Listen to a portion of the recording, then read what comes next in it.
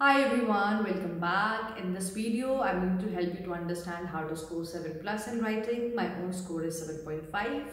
तो जो मैंने सबसे पहली चीज़ करी वो ये I identified difference between academic and GT उनमें टाइप ऑफ़ क्वेश्चंस क्या है टाइम कितना मिलता है और वर्ड लिमिट कितनी है ये करने के बाद मैंने चेक किया पैरामीटर्स पैरामीटर्स को मैंने डिटेल में ऑलरेडी एक वीडियो में कवर किया है जिसका लिंक मैं सब्सक्रिप्शन बॉक्स में लिंक ऐड कर दूँगी और somewhere on the screen also add it but just to have an idea basically आपके चार पैरामीटर्स हैं.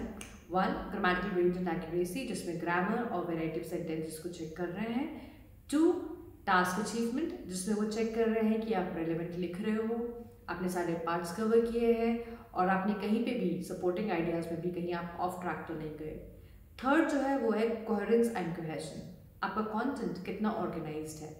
दो सेंटेंसेस आपस में लिंक्ड है आइडियाज़ लिंक्ड है पैराग्राफ्स लिंक्ड है या नहीं?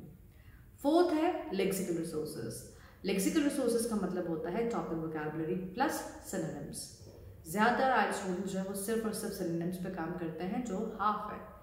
You know the rest half is basically कि आपको जो टॉपिक दिया गया है उसके उससे रिलेटेड आप वर्ड्स लेके ना ये सब करने से मुझे क्या हेल्प हुआ?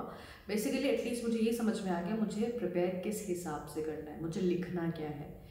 Uh, उसके बाद जो मैंने चीज़ करी थर्ड नंबर पे वो ये था कि मैंने अपना कंटेंट डेवलप किया।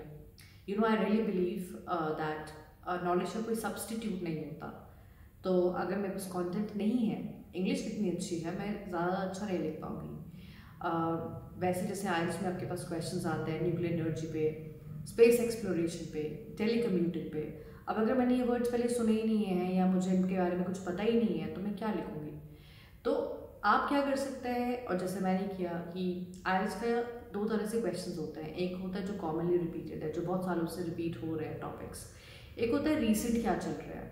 तो मैंने दोनों की लिस्ट बना दी कि अच्छा ये इस तरह के क्वेश्चंस आते हैं, ये रीसेंट चल रहे हैं। और मैंने कंटेंट डेवलप करना शुरू किया कि अगर ऐसा कुछ आएगा टॉपिक तो उस पर क्या बेनिफिट्स है, क्या ड्रॉबैक्स है? ये कुछ आ गया तो उस पर क्या कॉज हो सकता है, क्या सोल्यूशन हो सकता है? अलॉन्ग विद मेरे टॉपिक वोकेबलरी कि इसमें कौन से वर्ड्स मैं यूज़ कर सकती हूँ?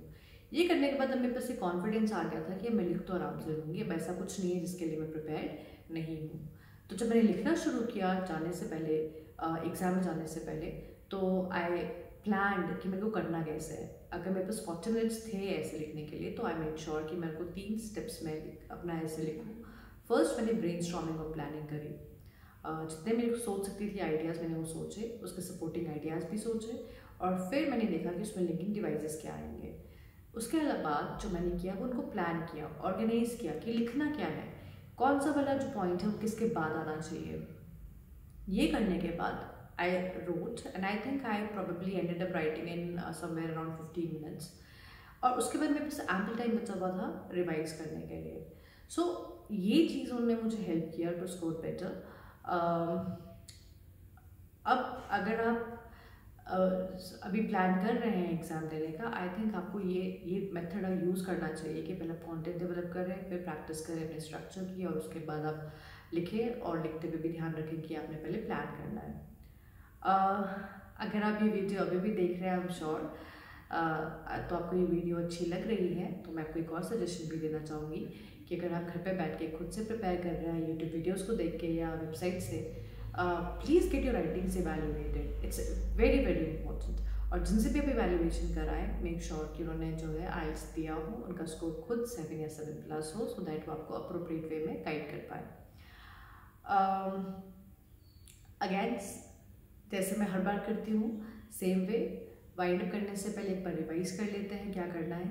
सबसे पहले पैरामीटर्स को आपने चेक करना है राइटिंग के। सेकंड आपने कंटेंट को डेवलप करना है। वर्ड्स पे ही सिर्फ़ फोकस नहीं करना है, दोनों कॉन्टेंट एंड वर्ड्स दोनों को डेवलप करना है। Third make it a habit कि जब भी आप लिखेंगे, लिखने से पहले आप प्लान करेंगे और लिखने के बाद आप रिवाइज करेंगे। If you do this I am sure nobody can stop you from scoring really really amazing bad score